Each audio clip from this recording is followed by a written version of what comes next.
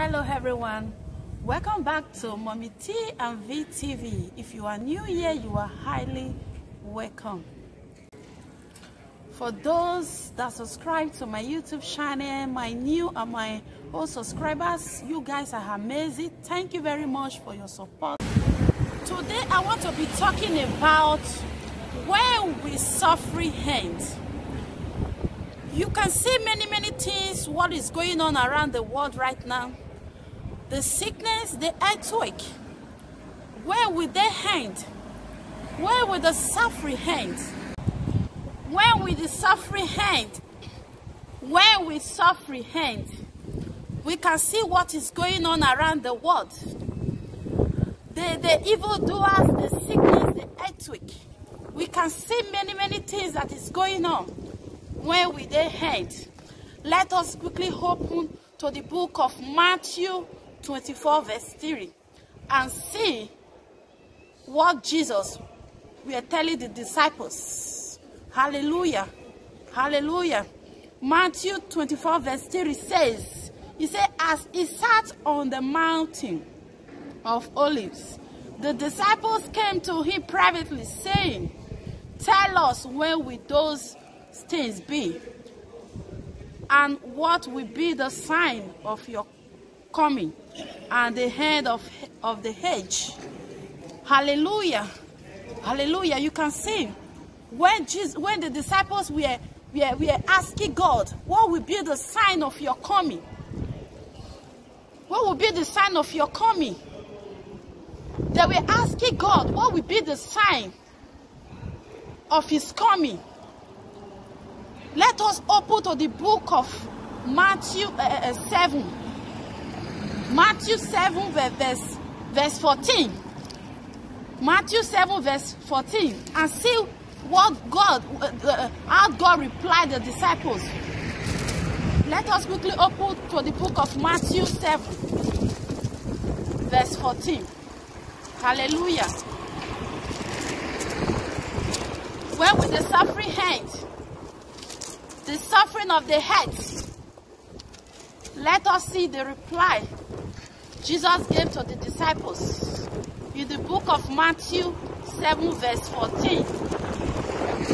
Hallelujah. Matthew 7 verse 14. It says, Jesus replied the disciples in Matthew 7 verse 14.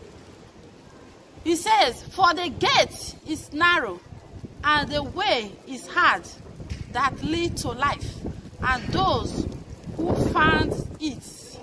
Are few. Hallelujah. Hallelujah. Those who find it are few. The sign of god coming is what we are seeing around the world right now. The sign is what we are seeing around the world. The sickness the evildoers that means the world is coming to an end. Jesus is coming very soon.